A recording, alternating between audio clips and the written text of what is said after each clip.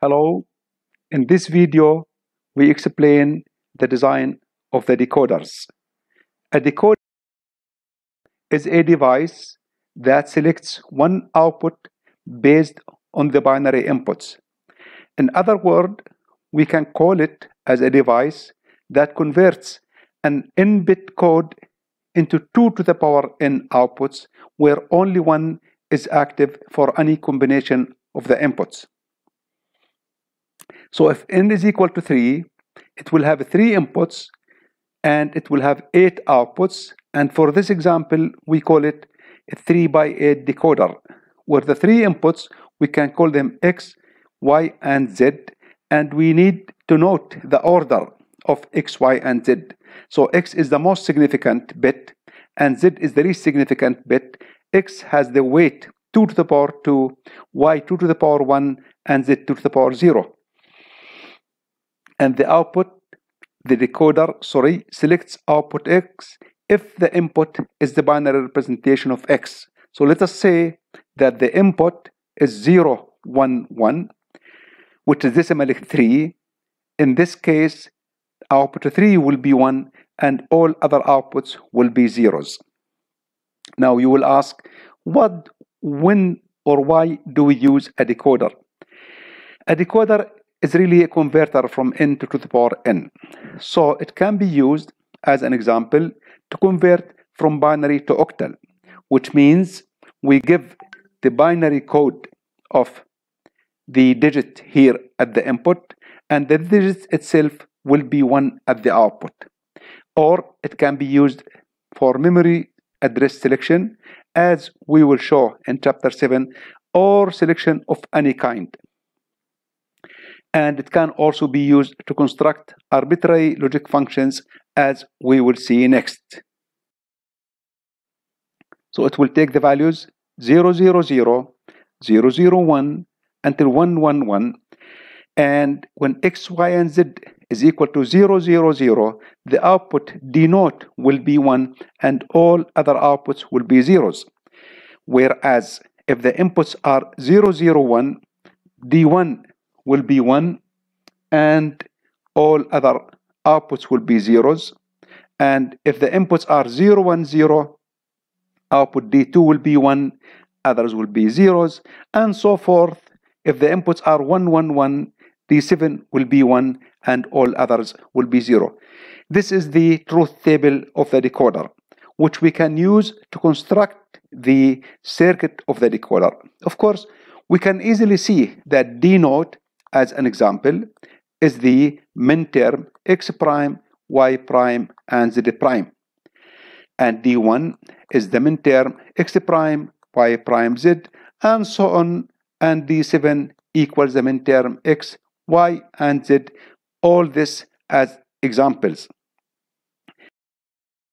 At the full circuit of the decoder, we find that it consists of eight AND gates where each AND gate generates the respective min term. So that's min term 0 for D naught, min term 1 for D1, min term 2 for D2, and so on for D3, D4, D5, D6, and min term uh, 7 for D7, which is D7 equals X, Y, and Z. And this is the construction of the decoder. It simply, simply generates the sequence of min terms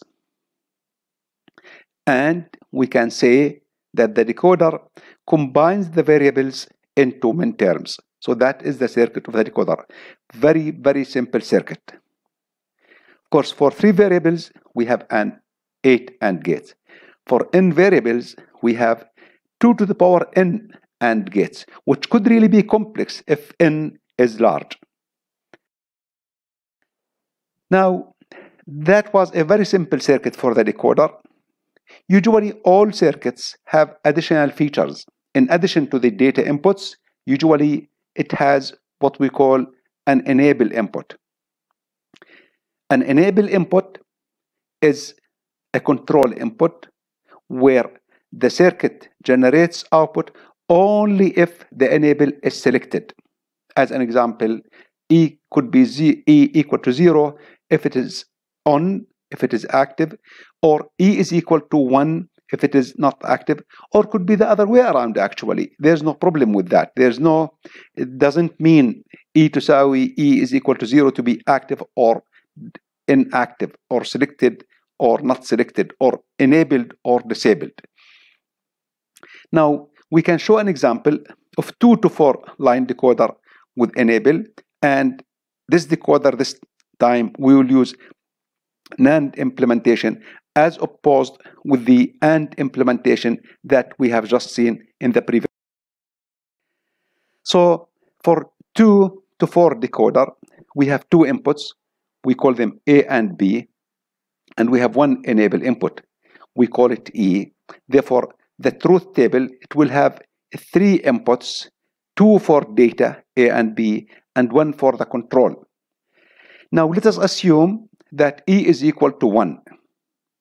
When E is equal to 1, this is 0 here, and this is 0, and this is 0, 0, 0, and 0, and with anything is 0, inverted 1. So this is 1 here, and 1, and 1, and 1. So when E is 0, all the outputs are 1, which means they are all disabled. There's no output on the decoder.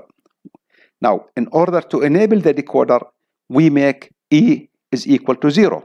So if this becomes 0 here, E prime will be 1, this will be 1. So this will be 1, and this is 1, and this is 1, and this is 1.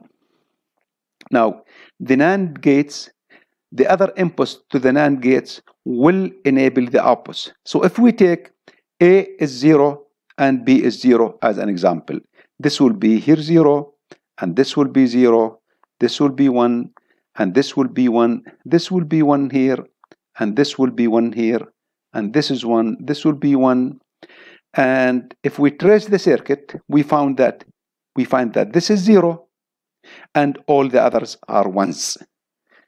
Therefore when E is 0 A and B are 0 0 we find D naught is 0 and all the others are ones we say that D naught is active and all the others are not active. Same thing exactly, we can repeat actually the analysis. We will find out that when E is 0, A and B 0, 1, D1 is active. And when A is 0, AB 1, 0, we find that D2 is active.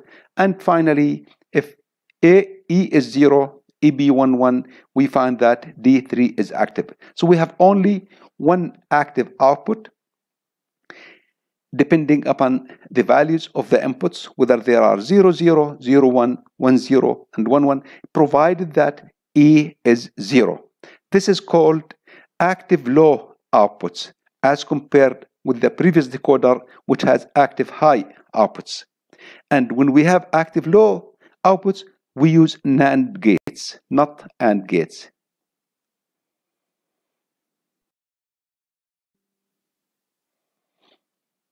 Now we can construct larger decoders from a smaller decoder.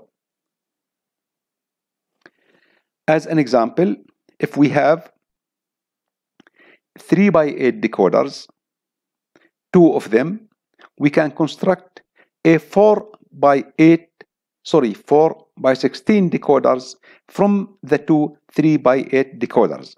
And for this purpose, the enable input is used for building larger decoders as follows. Let us assume that the inputs are W, X, Y, and Z, where X, Y, and Z, these three inputs, the least significant inputs, are inputs to both decoders here, X, Y, and Z, and W is uh, entered as follows. W prime is the enable of the first decoder, and W is the enable of the second decoder. So when W is 0, this will be 1, and this one is enabled. And this is 0, and this one is disabled. So all these will be zeros, and depending upon X, Y, and Z, one of these outputs will be enabled. And vice versa. When W is 1, this will be 0 here, and this will be disabled and this will be one which will be enabled so in this case either the upper decoder will be enabled for w equal to 0 or the lower decoder will be enabled to when w is equal to 1 therefore we find when w is equal to 0 one of these outputs is active only and when w is equal to 1 one of these outputs is active. And therefore as if we have converted four variables into 16 different outputs here only one of the 16 is output at a time. Now the question is can we use the new decoder to get a 5 to 32 line decoder actually the answer is no because we use the enable inputs here to handle W and with this decoder we don't have an enable input anymore so it cannot be used. Now we go look at implementing functions using decoders. Actually the decoder uh, since it implements all the min terms we can easily implement any Boolean function. Let's take an example of the full adder where the sum is equal to sigma 1247 and the carry sigma 3567 as we have seen before. And therefore all we have to do we apply the inputs x y and z at the inputs of the decoder and the outputs the sum we or the min terms 1 2 4 and 7 and for the carry we or the min terms 3 5 6 and 7 and we are done. That's very simple now one last thing we'd like to talk about the enable signals. Enable signal is a signal that either permits or prevents something from happening or occurring. So it's a control signal. The state is described as either active or passive, or we call it on or off, or enabled or disabled. And this has nothing to do with the polarity. So the polarity, the polarity, it could be active high or active low. If it is active high, the schematic symbol doesn't have a bubble and active low the schematic symbol always has a bubble. Bubble always means active low or negation and so on